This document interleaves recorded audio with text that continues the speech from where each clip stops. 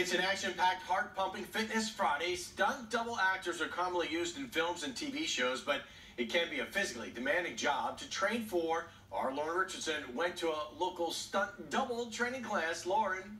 It was tough. These stunt doubles have to train to be prepared for any situation, which means they have to stay in tip-top shape and stay on a serious fitness routine. It was pretty hardcore. Check it out.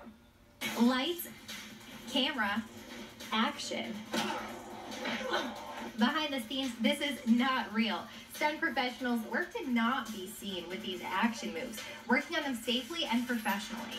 We definitely have to have a solid uh, uh, foundation of, of, working out and, and, staying fit in to do this. Rach Castro goes to UATW Stunts School in New Rochelle. So does Keisha Richards LaFleur. She wanted to add some extra credit to her acting resume. I'm also putting my body through stress, which is also strengthening it. So it's getting stronger in a really good way.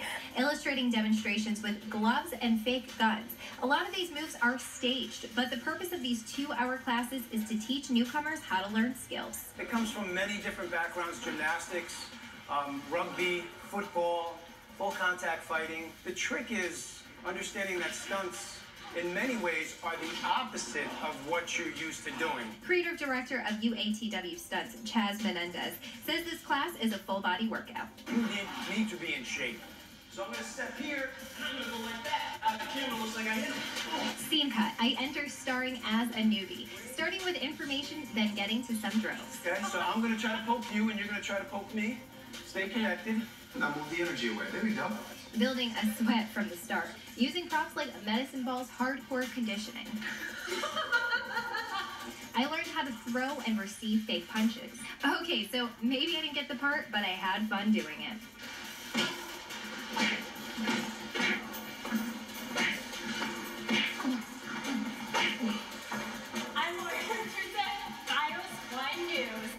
Like my acting? Well, I tried my best. Chazz says the door is open for anyone to try these classes and see if it's right for them. It's $25 per class at UATW Stunt School. For one month, it's 125 bucks unlimited classes.